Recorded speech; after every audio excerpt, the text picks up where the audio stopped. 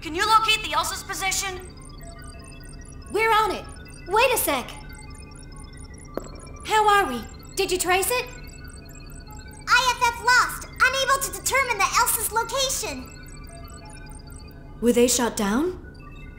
No way! Besides, we didn't detect any explosions. Regardless of what happened, we won't be able to learn any more from here. Let's hurry to Little Master's location.